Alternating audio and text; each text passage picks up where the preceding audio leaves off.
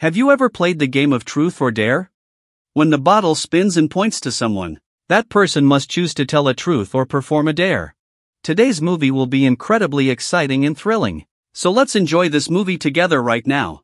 The college students are enjoying a grand Halloween party, where four friends, Paul, Chris, Gemma, and Eleanor, raise a toast to celebrate the end of their semester. Paul also shares about a wonderful internship he got, but his girlfriend, Eleanor, uncomfortable with their long distance relationship, Luke approaches, handing Chris and Paul some illicit goods. Although Paul initially refuses, he eventually agrees to take them.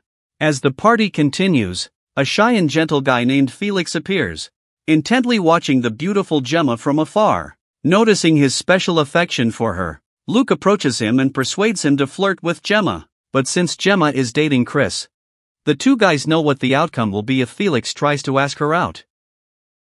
Therefore, Luke gives Felix some drugs to boost his confidence. After that, Felix approaches Gemma and asks her out, but she politely declines him. However, she encourages him, saying that he will soon find the true love of his life.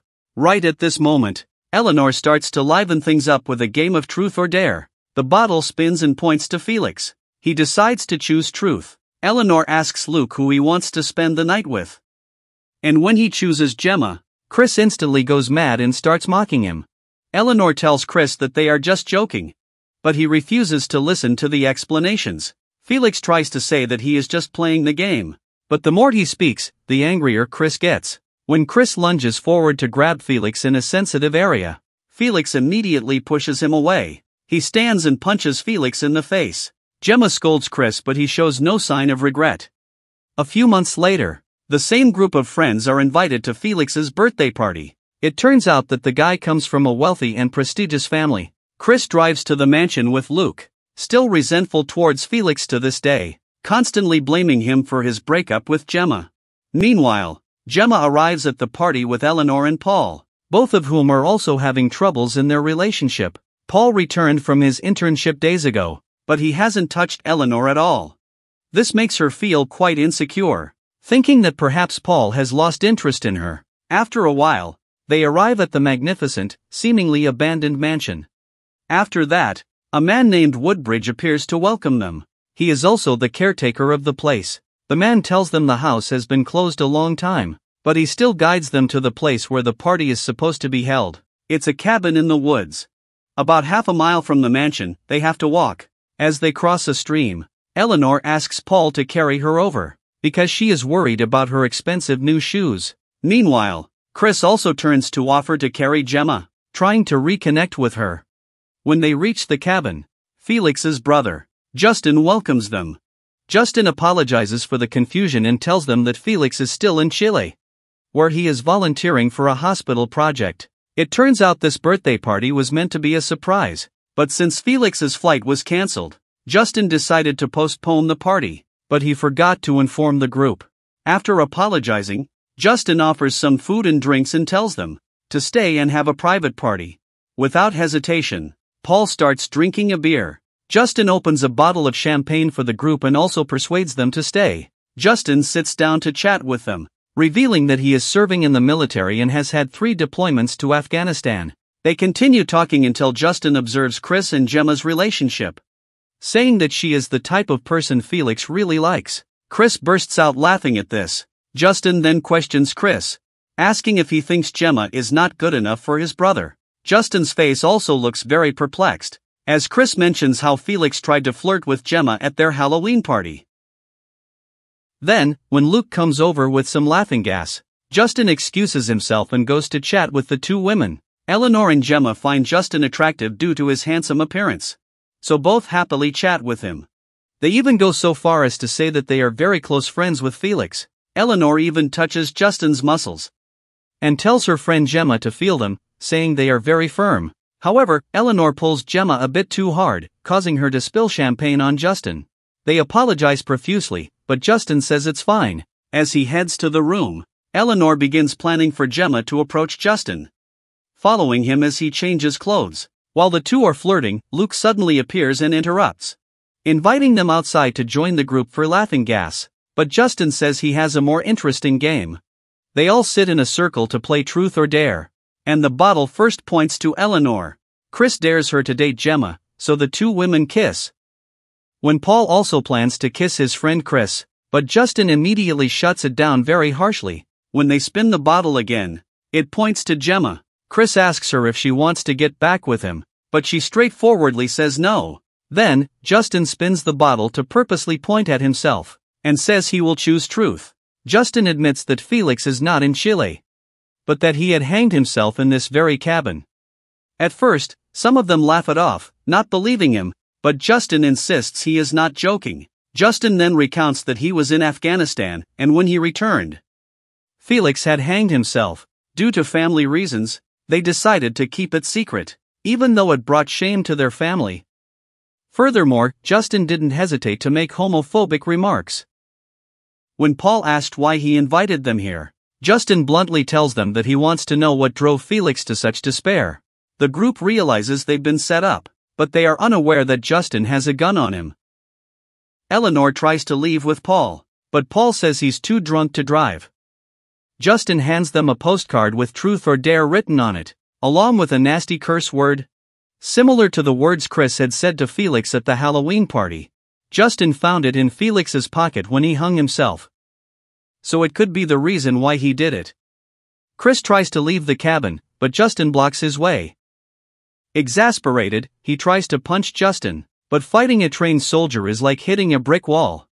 Eleanor approaches Justin from behind with a wine bottle, but Justin quickly turns and slaps her in the face. When Paul tries to help his girlfriend, Justin immediately pulls out a gun and shoots him in the leg, despite Gemma's desperate pleas for him not to hurt anyone. Terrified, Paul calls for help. But Justin immediately shoots at Paul's phone from a distance, blowing off some of his fingers, Justin then orders Luke to tie everyone to chairs and confiscate their belongings. To save their lives, Luke follows Justin's orders like a loyal henchman. Justin repeatedly asks about the postcard, but none of them admit to it, trying to convince him they had nothing to do with it. Justin then gives them some privacy to discuss the matter and steps outside the cabin with Luke. Justin asks Luke if he was the one who sent the postcard, but he immediately denies it. Luke says he's just the guy who delivered contraband. He didn't even know Felix that well. Luke tries to convince Justin to let the matter go, but Justin is deeply troubled by his brother's death. Justin then asks about the Halloween party and learns that Luke sold drugs to Felix. To give him the courage to ask Gemma out, although Justin disapproves of Luke's actions, he doesn't make it difficult for him, just asking Luke who he thinks sent the postcard. Meanwhile, the group inside starts arguing about the postcard. Eleanor and Gemma believe Chris did it. Because of the things he said and because Felix was the reason Gemma broke up with him. However, Paul trusts that Chris wouldn't do that. Paul urges his friends to stop attacking each other and focus on escaping. He tells them to keep trying to free their hands. Then directs Gemma to the desk behind her. Looking for any tools they can use to escape. Unfortunately, Gemma's chair tips over, alerting Justin outside. When the two men come back in, Paul tries to convince Justin to let them go. But he says the game has just begun. First, Justin spins the bottle and it points at Gemma, so he asks her who she thinks sent the postcard. When she says she doesn't know, Justin slaps her hard. With no other choice, Gemma blames Chris. Everyone else starts blaming Chris as well. However, Chris has an alibi as he was in Spain at the time. While the postcard was sent from London. To save their own lives, the group starts arguing and blaming each other loudly. Justin fires a warning shot to silence them and continue the game. When the bottle points at Chris, he defiantly chooses a challenge to see what Justin can do. Justin immediately brings in a cart for an acid challenge. The group begs Luke for help, but he ignores their pleas. Justin then inserts a tube down Gemma's throat connected to two containers. One containing tap water and the other acid. Justin challenges Chris to choose between the containers, but Chris refuses to choose, prompting Justin to threaten. Justin threatens that if Chris doesn't choose, he will open the acid container directly. Thus, Chris reluctantly chooses the left container. Luckily, it is the correct choice. A while later, Justin spins the bottle again, and it points to Eleanor. She chooses truth. Justin asks her who she wants to take the next acid challenge, but she says she doesn't want anyone to do it. Justin tells Eleanor that if she doesn't choose someone, she will be the one to take the acid challenge. Eventually, she chooses Chris. Exhausted, Chris directly confesses to sending the postcard, but Justin knows he's lying. Since he previously claimed to have an alibi, then Paul speaks up, telling Justin that none of them were friends with Felix. Because no one liked him, Paul calls Felix a pervert. Revealing that he saw Felix spying on him and Eleanor being intimate. Paul even calls Felix gay. Which angers Justin. He starts using derogatory language against homosexuals again. Justin forces Paul to pick a container for Chris's acid challenge, but Paul chooses incorrectly. Everyone is terrified, crying as they watch Chris writhe in pain, bleeding from his mouth before dying. Before Justin can continue the game, a knock on the door interrupts them. A friend who supplies drugs to Luke, named Jonesy, had tracked Luke's GPS and shows up wanting to join the party, but Luke tries to turn him away. Jonesy gets angry, accusing Luke of being selfish, but when Justin comes out to check, Luke changes his tone. Justin invites Jonesy to join them, but he refuses and suddenly sprays mace in Justin's face. However, Justin quickly turns the tables, breaking Jonesy's arm and spraying mace back at him. Then, to test Luke, Justin hands him a gun and orders him to shoot Jonesy. Luke now faces two choices. He can aim at either Jonesy or Justin, with only three random bullets left in the gun. If Jonesy is lucky and gets an empty chamber, Justin will let him go. But if Luke shoots at Justin and it's an empty chamber, he will kill everyone. So reluctantly, Luke kills Jonesy.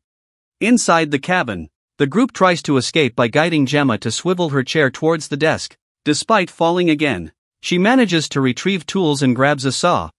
While Justin is preoccupied outside, Gemma frees herself and prepares to release the others, but Eleanor urges her to run as time is running out.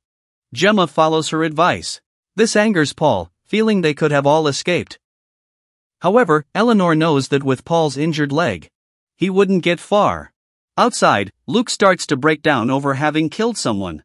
He tries to return the gun to Justin, but Justin tells him to keep it, saying he trusts him more now.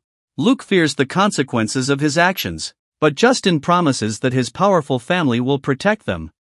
So Luke fully sides with Justin. They then drag Jonesy's body inside.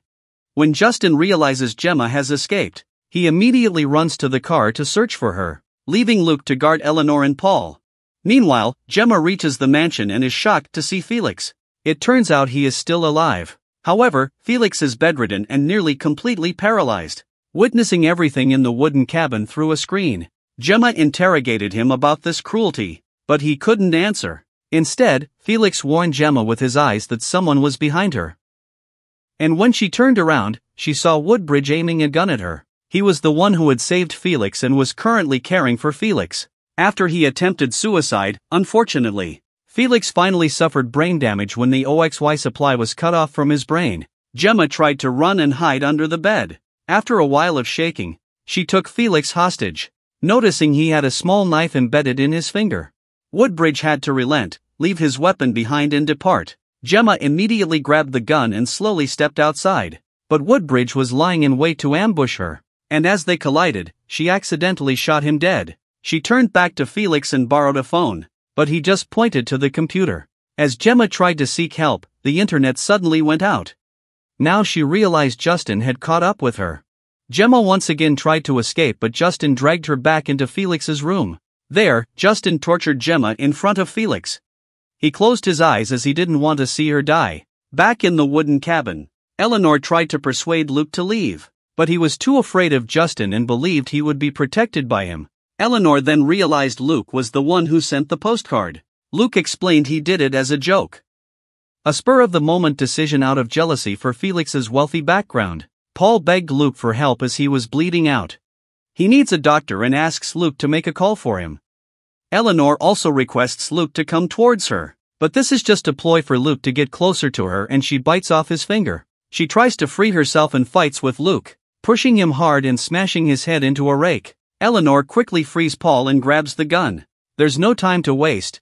Eleanor tries to flee with Paul. But now Justin returns with Felix in a wheelchair. Eleanor hesitates not and shoots them both in the shoulders, but as she moves closer to finish him off with the last bullet, he deflects the gun and stabs her with a screwdriver. They both end up grappling on the floor, but Paul comes to Eleanor's aid and stabs Justin. Eleanor then smashes an acid container on Justin's head and moments later, he finds himself blinded by a pole. Meanwhile, Paul just wants to go home, but Eleanor isn't finished yet. Instead, she forces Paul out of the car, asking for a moment with the two brothers. And as Paul waits outside in Justin's car, he is surprised to see Gemma's body inside. When Paul leaves, Eleanor asks Felix to play truth or dare. That's how she'll know why Felix tried to kill himself. Eleanor urges him to look at the person he fears the most. It's no surprise when Felix looks at his own brother, and that's when Eleanor starts revealing the truth. It turns out Eleanor's father went bankrupt, so she asked Felix if his family could help them. Eleanor then recorded a scene of intimacy with Felix, something for blackmail. But felt it wasn't enough. During the Halloween party that night, Paul and Eleanor went upstairs. But before they could do anything, Paul got too drunk and passed out, so she persuaded Felix to be intimate with Paul and filmed it. Afraid her homophobic brother might see the video. Felix ultimately decided to commit suicide. Now the truth is finally revealed. Eleanor hands Felix a grenade locking the pin to his hand. Then she steps out of the wooden cabin and into the car. Felix stays behind, seeing the resentment in his brother's eyes. He finally decides to pull the pin. With tear filled eyes, Eleanor drives away with Paul and Gemma's body. What do you think of this movie? Don't forget to like and subscribe to support Box channel for more movies every day. Thank you for watching.